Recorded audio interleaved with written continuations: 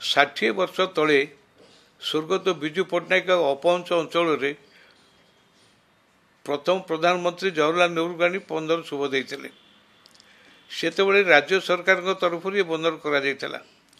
ଆଠ ହଜାର ତିନିଶହ ଏକର ଜମି ଅଧିଗ୍ରହଣ କରାଯାଇଥିଲା ଏବଂ ବୃହତ ବନ୍ଦର ଆଇନ ପ୍ରଣୟନ ହେଲା ପରେ ଛଅଷଠି ମସିହାରେ ଇଏ ପାରାଦ୍ୱୀପ ବନ୍ଦରଟି ରାଜ୍ୟ ସରକାରଙ୍କ ହାତରୁ କେନ୍ଦ୍ର ସରକାରଙ୍କ ଅଧୀନକୁ ଗଲା। ସେତେବେଳେ କଣ୍ଡିସନ ହେଇଥିଲା ଯେ ରାଜ୍ୟ ସରକାର ବନ୍ଦର ନିର୍ମାଣରେ ଯେତେ ଅର୍ଥ ବ୍ୟୟ କରିଥିବେ ତାକୁ କେନ୍ଦ୍ର ସରକାର ଫେରାଇବେ ତାକୁ ଫେରାଇଛନ୍ତି ଏବଂ ଜମି ଜମା ସଂକ୍ରାନ୍ତରେ କୁହାଯାଇଥିଲା ଇଏ ବନ୍ଦର କର୍ତ୍ତୃପକ୍ଷ ଏବଂ ରାଜ୍ୟ ସରକାରଙ୍କ ଭିତରେ ନିଷ୍ପତ୍ତି ହେବ ସତଷଠି ମସିହାରେ ରାଜ୍ୟ ସରକାରଙ୍କର ଉଚ୍ଚସ୍ତରୀୟ କମିଟି ନିଷ୍ପତ୍ତି ଦେଲା ଯେ ବନ୍ଦରକୁ ଚାରି ହଜାର ସାତଶହ ଏକର ଜମି ଦିଆଯିବ ଏବଂ ବନ୍ଦର କର୍ତ୍ତୃପକ୍ଷକୁ ଲିଜ୍ ପାଇଁ ଦରଖାସ୍ତ କରିବାକୁ କୁହାଗଲା ସେ କଲେ ନାହିଁ ଏବଂ ସେଇ ଘଟଣାଟା ଏ ପର୍ଯ୍ୟନ୍ତ ଆଉ ସ୍ଥିର ହେଲା ନାହିଁ। ବର୍ତ୍ତମାନ ଯେଉଁ ଆଠ ହଜାର ତିନିଶହ ଏକର ଜମିରୁ ଚଉଦଶହ ଏକର ସତରଶହ କେତେ ଏକର ଜମି ଫେରସ୍ତ ଆସୁଛି ବାକି ଛଅ ହଜାର ଅଣଚାଶ ଏକର ଜମି ବନ୍ଦର କର୍ତ୍ତୃପକ୍ଷ ଦଖଲରେ ରହିଛି।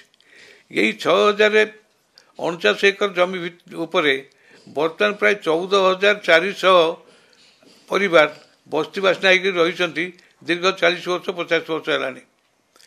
ଏବଂ ଯେହେତୁ ବନ୍ଦର କର୍ତ୍ତୃପକ୍ଷଙ୍କର ଦଖଲରେ ଜମି ଅଛି ସେଠି ଅଙ୍ଗନବାଡ଼ି ସେଣ୍ଟର କରିହେଉନାହିଁ ପ୍ରାଇମେରୀ ସ୍କୁଲ ଘର କରିହେଉନାହିଁ ବା ସାଧାରଣ ଲୋକଙ୍କୁ ସୁବିଧା ସୁଯୋଗ ଦେବା ପାଇଁ ଯେଉଁ କଥା ରାଜ୍ୟ ସରକାର ଅଛି ସେଠି କିଛି ବ୍ୟବସ୍ଥା କରିବେ। ତେଣୁ ଯେହେତୁ ରାଜ୍ୟ ସରକାର ବର୍ତ୍ତମାନ ବସ୍ତି ମୁକ୍ତ ରାଜ୍ୟ କରିବା ପାଇଁ ଘୋଷଣା କରିଛନ୍ତି ସେଇ ଦୃଷ୍ଟିରୁ ଯେହେତୁ ଇଏ ବନ୍ଦରଟିকে ନିର୍ମାଣ କରିଥିଲେ ସ୍ୱର୍ଗତ ବିଜୁ ପଟ୍ଟନାୟକ ଏବଂ ବିଜୁ ପଟ୍ଟନାୟକର ଅବଦାନ ଯୋଗୁଁ ଆଜି ଓଡ଼ିଶା ଅନେକ ବାଟ ଆଗକୁ ଯାଇଛି। ଇଏ ଜାତି ମଧ୍ୟ ଦୁନିଆ ସହିତ ପରିଚିତ ହେଇଛି।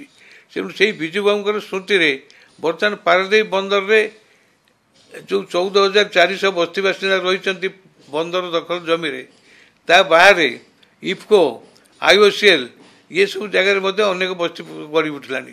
ଏ ସବୁ ବସ୍ତିକୁ ନେଇ ରାଜ୍ୟ ସରକାର ଥଇଥାନ କରନ୍ତୁ ତାଙ୍କୁ ଘର ଟିଏ ଯୋଗାଇ ଦିଅନ୍ତୁ ଏବଂ ଆଉ କିଛି ଜାଗା ନେଇକରି ତାକୁ ପ୍ଲଟିଂ କରି ଯେମିତି ଭୁବନେଶ୍ୱରରେ ଦିଆହେଲା ସେମିତି ସିଭିଲ ଟାଉନସିପ୍ କରିବା ପାଇଁ ଦିଆହେବ ତାହେଲେ ଏଇ ଯେଉଁ ସହର ଯେଉଁ ଅବସ୍ଥା ସୃଷ୍ଟି ହେବ ତାକୁ ନେଇକରି ସମୁଦାୟ ଅଞ୍ଚଳକୁ ବିଜୁ ନଗର ନାମରେ ନାମିତ କରାଯାଉ।